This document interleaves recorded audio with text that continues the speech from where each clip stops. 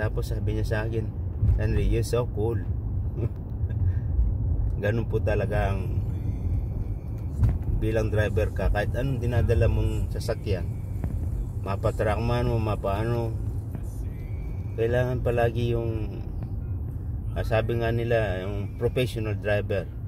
Ang professional driver, hindi ko mo ma- marunong ka na magpatakbo ng more than 100 kilometers o matulin na matulin ibig sabihin hindi hindi pa ibig sabihin na professional ka.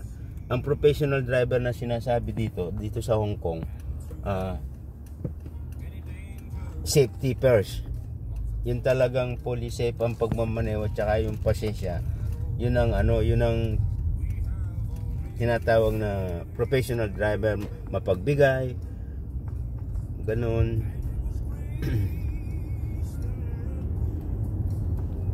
pero itatry ko na ang mga content na gagawin ko mm, sana may makapag bigay ng tips sa akin o makapag-advise kung anong magandang pati nga sa pag edit wala pa akong experience. Basta sabi nga nila pag may smartphone ka pwede ka na mag-vlog. So ginagawa ko to dahil first time. Kahapon lang ako naggawa ng ano ng channel Ah, pati yung boses ko minsan ang pangit kasi ewan ko bakit ang boses ko ganyan. Sa mga ah, audio yung boses ko lumalabas parang basag na hindi ko maintindihan.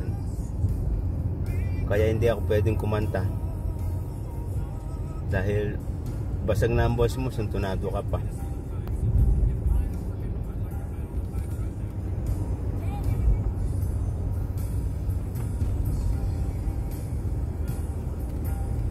ang gusto ko lang i-ano sa channel ko na to mga Filipino OFW ang aming mga kalagayan mali mo ah, kasi sa bagay tsaka ko na lang ipapaliwanag pag nag na ako gumawa ng video kung anong mga nangyayari